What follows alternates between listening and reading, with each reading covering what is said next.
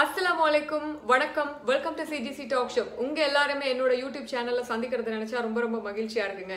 இன்னைக்கு காலையில ஒரு காணொலி பார்த்தேன். பார்த்த உடனே கொஞ்சம் கண் கலங்கிச்சு. அதுக்கப்புறம் கொஞ்சம் பொறாமையா இருந்தது. ஹவு இஸ் பாசிபிள் எப்படி சாத்தியமாச்சு? எப்படி இவ்வளோ பெரிய ஒரு சக்சஸ் வந்தது? அப்படின்னு கேள்வி கேட்கும் பொழுது ஒவ்வொரு சக்சஸுக்கு பின்னாடியும் ஏகப்பட்ட ரணங்கள் இருக்கும். ஏகப்பட்ட காயங்கள் இருக்கும். அதே மாதிரி தான் இந்த காணொளி. உங்களுக்கு தெரியும் இந்தியாவில் புதுக்கோட்டையில் சின்ன வீரமங்கலம் அப்படிங்கிற ஒரு கிராமத்தை வந்து இந்த உலகத்துக்கே காட்டி இருக்கிற ஒரு யூடியூப் சேனல் தான் வில்லேஜ் குக்கிங் சேனல் இந்த சேனல் வந்து கிட்டத்தட்ட ஒரு ஆறு பேர் கொண்ட சேனல் அந்த சேனலுடைய ஃபவுண்டர் தான் பார்த்தீங்க அப்படின்னாக்கா சுப்பிரமணியம் அப்படிங்கிற ஒரு இளைஞர். அவர் வந்து ஆரம்பத்தில் எவ்வளோ கஷ்டங்களை பட்டு அதுக்கப்புறமா வந்து எப்படியாச்சும் என்னுடைய கிராமத்தை அந்த உலக அளவுக்கு வந்து ரீச் பண்ணணும் அப்படிங்கிறதுக்காக ஆரம்பிக்கப்பட்டது தான் இந்த குக்கரி சேனல் நீங்கள் நேற்று பார்த்துருப்பீங்க இந்த இந்த சேனல் வந்து பத்து மில்லியன் அதாவது ஒரு கோடி சப்ஸ்கிரைபர்ஸை வந்து எடுத்திருந்தது. அதாவது நூறு லட்சம் லட்சங்கள். நூறு லட்சங்கள் அப்படிங்கிறதுங்க எப்படி சாத்தியமாகும்? ஒன் மில்லியன் ஓகே சாத்தியமாகும். பட் இந்த தமிழ் மக்களுடைய மனதையும் தாண்டி கடல் தாண்டி இந்த உலகத்துல நிறைய பேரோட மனதுல வந்து இடம் பிடிச்சிருக்காங்க. இது வந்து யோசிச்சு பார்க்கும் பொழுது எங்களுக்கே வந்து அந்த மாதிரி கிடைச்ச மாதிரி இருக்கு. கா- காலையில பார்த்துட்டு ரொம்ப ப்ரௌடாக ஃபீல் பண்ணி நான் காலையில் ஒரு ஃபேஸ்புக்கில் ஒரு போஸ்ட் கூட பதிவிட்டேன். இதுல பார்த்தீங்க அப்படின்னாக்கா ரெண்டாயிரத்தி பதினெட்டுல இந்த சேனல் ஆரம்பிச்சு கிட்டத்தட்ட எட்டு மாசம் தாண்டி இந்த சேனலில் வந்து வீடியோ போட்டு அந்த எட்டு மாதம் வரைக்கும் அவங்களோட ஊரில் வந்து கொஞ்சம் கூட கவரேஜ் ப்ராப்ளம் சிக்னல் ப்ராப்ளம் இதெல்லாம் இருக்கத்தக்கன அந்த வீடியோ வந்து ஒரு நாளைக்கு அப்லோட் பண்ணுறதுக்கு பார்த்தீங்க அப்படின்னாக்கா ஆறு ஏழு ஹார்ஸ் வந்து எடுக்கும். கிட்டத்தட்ட ஆறு ஏழு மணித்தியாலங்கள் அதை கஷ்டப்பட்டு அப்லோட் பண்ணி ரொம்ப கஷ்டத்துக்கு மத்தியில் தான் இந்த சேனலை வந்து ரன் பண்ணியிருக்காங்க இன்னைக்கு ஒரு சேனலை நூறு லட்சம் பேர் பார்க்குறாங்க அப்படின்னாக்கா சின்ன விஷயம் கிடையாதுங்க.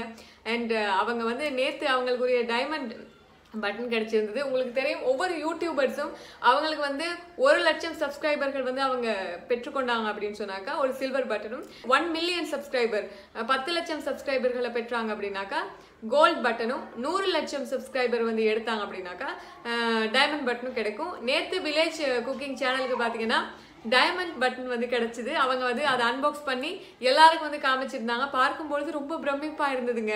அவங்களுடைய ஒவ்வொருத்தருடைய உணர்ச்சியும் கேட்கும்போது எப்படிடா இது? எவ்வளோ ஒரு அந்த பெரிய தம்பி தாத்தா இருக்கார். அந்த தாத்தாவை மையப்படுத்தி தான் அந்த சமையல் நடக்கும். அந்த தாத்தாவோட ஸ்டைலு அந்த தாத்தா சமைக்கிற விதம் அந்த தாத்தா வந்து அதை வெளியே எல்லாருக்கும் வந்து ப்ரெசென்ட் பண்ணுற விதம் எல்லாம் பார்த்தீங்கன்னா ரொம்ப நல்லா இருக்கும் அவருடைய சமையலை பார்த்தீங்கன்னா ராகுல் காந்தி அவர்கள் கூட போய் சமைச்சு சமைச்சு அதை சாப்பிட்டு அதில் கலந்துக்கிட்டு வந்திருந்தாங்க. வந்திருந்தாரு. நம்ம அந்த காணொளி பார்த்திருப்போம். ஸோ இது வந்து ஒரு உதாரணங்க. ஒவ்வொரு மனுஷன் யார் யார் கஷ்டப்படுறாங்களோ எல்லாருக்குமே ஒரு மிகப்பெரிய உதாரணம் இந்த மாதிரியான நம்மளை வந்து மோட்டிவேட் பண்ணக்கூடியதா வந்து இந்த சேனல் இருந்தது. ஸோ அவங்களுக்கு ஃபர்ஸ்ட் ஆஃப் ஆல் கங்க்ராச்சுலேஷன் அந்த தாத்தா மற்றும் அந்த சுப்பிரமணியம் அவர்களுக்கு வந்து பெரிய தம்பி தாத்தா சுப்பிரமணியம் இவங்க ரெண்டு பேருக்கும் வாழ்த்துக்களை தெரிவிக்கிறதோட அந்த டீம் ஃபுல்லா நாங்க வந்து சிஜிசி டாக் ஷிப் சார்பாக எங்களுடைய வாழ்த்துக்களை வந்து தெரிவிச்சுக்கிறோம். இது உங்களை வந்து சேருமா இல்லையான்னு தெரியாது.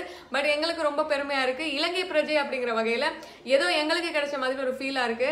அண்ட் இந்த மாதிரி சக்ஸஸுக்கு பின்னாடி எவ்வளோ கவலைகள் இருக்கும் அப்படிங்கிறது தான் நான் இன்னைக்கு ஆர்ஜே ஷாவோட சாபுத்ரி சேனலுக்கு போய் இந்த வில்லேஜ் குக்கிங்க்கு பின்னாடி எவ்வளோ பெரிய கஷ்டங்கள் இருந்ததுன்னு பார்த்தேன். ஸோ எட்டு மாதம் கஷ்டப்பட்டு ஒரு வீடியோ பண்ண நிறைய வீடியோ போட்டு அதில் ஒரு வீடியோ வந்து ரீச் ஆகி அதுக்கப்புறம் மக்கள் மனதில் போய் இன்னைக்கு நூறு லட்சம் மக்கள் மனதில் இந்த சேனல் இருக்குது அப்படின்னாக்கா அதுக்கு வந்து கிடையாதுங்க. அந்த இறைவன் ஒருத்தருக்கு தான் தேங்க் பண்ணி ஆகணும்.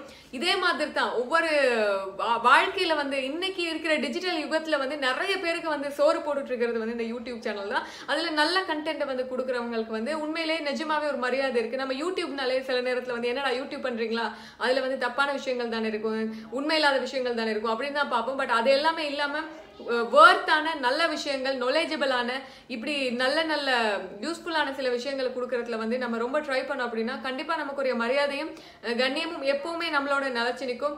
இன்னைக்கு எங்களோட சேனல் பார்த்தீங்க அப்படின்னா கிட்டத்தட்ட சேனல் இருந்தது பட் எதுவுமே நாங்கள் ஒர்க் எதுவும் பண்ணல. இந்த லாஸ்ட் இந்த சிக்ஸ் மந்த்துக்குள்ள எல்லாரும் சேர்ந்து ரொம்ப ட்ரை பண்ணி உங்களுடைய சப்போர்ட்டை கொடுத்துருந்தீங்க. நாங்களும் நிறைய விஷயங்கள் பண்ணிட்டு இருந்தோம். இது வரைக்குமே கிட்டத்தட்ட முப்பத்தி மூவாயிரம் சப்ஸ்கிரைபர் மட்டும் நீங்கள் இருக்கீங்க. அது எல்லாமே நீங்கள் கொடுத்தது தான் ஸோ இதுக்கு பின்னாடி பார்த்தீங்கன்னா ஒரு ஒரு அஞ்சு வருஷமா ஒரு சேனல்ல வந்து ஒரு ப்ரொடியூசரா ஒரு ப்ரெசென்டரா வந்து ஒர்க் பண்ணேன். நான் வந்து கிராமத்தில் கிராமத்துல இருந்து வந்து என்னோட ஊர்ல இருந்து வந்து ஒரு சேனல்ல ஒர்க் பண்ணி கிட்டத்தட்ட அஞ்சு வருஷத்தை தாண்டி ஒர்க் பண்ணி ரொம்ப கஷ்டப்பட்டு ரொம்ப பிரச்சனைகளுக்கு உள்ளாகி பட் அதுல தாக்கு பிடிச்சு நின்று அந்த இடத்துல சில சில விஷயங்கள் நடந்ததுனால அந்த சேனலை விட்டு வெளியே வந்து என்னடா பண்றதுன்னு தெரியாம யோசிச்சுட்டு ரெண்டு நாளா வந்து நான் தூங்கல. எனக்கு மைண்ட் ரொம்ப கொலாப்ஸ் ஆகி போயிருந்தது. அதுக்கப்புறம் பார்த்தீங்க அப்படின்னாக்கா அந்த சேனல்ல இருந்து என்னை கூப்பிட்டாங்க. நீங்கள் பார்ட் டைமாக வந்து ஒர்க் பண்ணுங்க. பரவாயில்ல நீங்கள் ஃபுல் டைமாக இருந்து ஒதுங்கி நான் பிரச்சனை கிடையாது. பார்ட் டைமாக சரி வந்து ஒர்க் பண்ணுங்களேன் அப்படின்ட்டு. சரின்ட்டு நானும் போயிருந்தேன். போனதுக்கு அப்புறமா ஓகே நானும் பார்த்தேன் ஓகே என்னோட யூடியூப் சேனல் நான் வந்து செஞ்சுட்டு அண்ட் பார்ட் டைமை நான் இங்கே வந்து ஒர்க் பண்ணலாம் அப்படின்னு. ஏன்னா நாங்கள் சமையல் ப்ரோக்ராம் அண்ட் நாலேஜபிளான சில சினிமா ப்ரோக்ராம் எல்லாமே பண்ணிட்டு இருந்தேன் உங்களுக்கு தெரியும். அண்ட் அங்கே போய் பண்ணி நான் ரெண்டு நாள் போனேன். போன ஆண்டு அடுத்த நாள் பார்த்தீங்க அப்படின்னாக்கா என்னை வரவே நான் சொன்னாங்க. நீங்கள் வராதிங்க வராதீங்க வந்தால் வந்தா பிரச்சனைக்கு பண்ணுறீங்க இங்க இருக்கிறவங்கள வந்து குழப்புறீங்க பழைய ஸ்டாஃப் எல்லாம் இங்க வர வேண்டாம் அப்படிங்கிற மாதிரி சொல்லியிருந்தாங்க.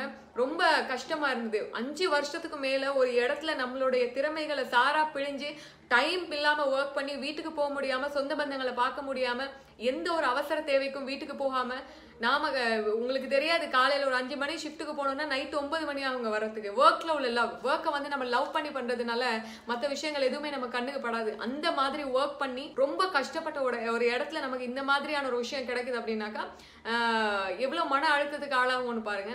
ஸோ அதில் இருந்து வெளியே வரணும் அப்படிங்கிறதுக்காக தான் இந்த சேனலில் வந்து நாங்கள் நிறைய விஷயங்களை வந்து கொடுத்துட்டு இருந்தோம். அதே மாதிரி இன்னைக்கு அது சக்ஸஸ் ஆகி போயிட்டுருக்கு. ஸோ நம்மளை வந்து ஒருத்தர் திருப்பி அடிக்கிறான் அப்படின்னு சொன்னாக்கா நம்ம ஏதோ ஒன்று பண்ணுறோம் அப்படின்னு அர்த்தம். நம்ம ஆணாக இருந்தாலும் சரி பொண்ணாக இருந்தாலும் சரி நம்மளுடைய வரையறைக்குள்ள நம்ம என்ன வேணாலும் நம்ம பண்ணிட்டு போகலாம் நம்ம யாருக்கும் பயப்பட வேண்டிய அவசியம் கிடையாது. இந்த உலகம் வந்து இந்த பல விஷயங்கள் பல மாதிரி பேசிட்டு இருப்பாங்க. நமக்கு நாம சரின்னு படுறோமா? நம்ம பண்றது சரின்னு படுறோமா? சில தவறுகள் இல்லாமல் கரெக்டான ரூட்ல போறோமா? தவறுகள் பண்ணியிருப்போங்க ஆயிரத்தெட்டு தவறுகள் பண்ணியிருப்போம் ஏ எக்கச்சக்கமான தவறுகள் பண்ணியிருப்போம் பட் அதுலேருந்து ஒரு நாளைக்கு நம்ம வெளியே வரதுக்கு இறைவன் நமக்கு வந்து இந்த இந்த உயிரை நமக்கு தந்து வச்சிருக்கான். நமக்கு பாவ மன்னிப்பு அப்படிங்கிற ஒரு விஷயத்தை தந்து வச்சிருக்கான். எவ்வளோ விஷயங்களை தந்து வச்சிருக்கான்? எல்லாம் தாண்டி வர்றதுக்கு வந்து ஒரு ஒரு கெத்து வேணும் ஒரு நம்பிக்கை வேணும் ஒரு திடம் வேணும். இதெல்லாம் தாண்டி வந்து இல்லை நீங்கள் நீங்கள் என்னை அனுப்புனா பரவாயில்ல. உங்களை விட நான் முன்னாடி வந்து காமிக்கிறேன். நான் எதுவுமே காணாம போயிட மாட்டேன். நான் முன்னாடி வரும் அப்படின்னு சொல்லிட்டு இருக்கிற அந்த சக்தி வந்து நம்ம எல்லாருக்குமே இருக்கணும். ஒவ்வொரு பெண்களும் இருக்கணும் ஒவ்வொரு ஆண்களுக்கும் இருக்கணும் அப்படின்னு சொல்லிக்க விரும்புறேன். ஸோ நான் இதெல்லாம் எதுக்கு நான் சொல்றேன் அப்படின்னு சொன்னாக்கா இன்னைக்கு இந்த அவங்களுடைய அந்த சந்தோஷத்தை பார்க்கும் பொழுது அந்த சந்தோஷத்துக்கு பின்னால எவ்வளவு பெரிய ஒரு வழி அப்படி வழி இருந்திருக்கும் அப்படிங்கறது வந்து என்னால நினைச்சு பார்க்க முடிஞ்சுது. என்னை அவருக்கா மீட்டு பார்க்க முடிஞ்ச மாதிரி இருந்தது. ஸோ அதை தான் நான் இன்னைக்கு வந்து சொல்லிக்க விரும்பினேன் ஸோ இன்னைக்கு அந்த சேனலுக்கு வில்லேஜ் குக்கிங் சேனலுக்கு வந்து எங்களுடைய மிகப்பெரிய பாராட்டுகளை வந்து தெரிவித்துக் கொள்கின்றோம். எந்த தடைகள் வந்தாலும் உங்களுடைய வாழ்க்கையில ஆனா தடை தான் வருது. நீங்க உணர்ந்துட்டீங்களா? நீ பாட்டுக்கு வந்துட்டு போ நான் என்னுடைய பாட்டுக்கு என்னோட வேலையை பாட்டுக்கு நான் கரெக்டா செஞ்சுட்டு இருக்கேன் அப்படிங்கிற ஒரு நம்பிக்கையோட பயணிச்சு போயிட்டே இருங்க. எந்த பிரச்சனையுமே வராதுங்க. ரொம்ப நன்றி.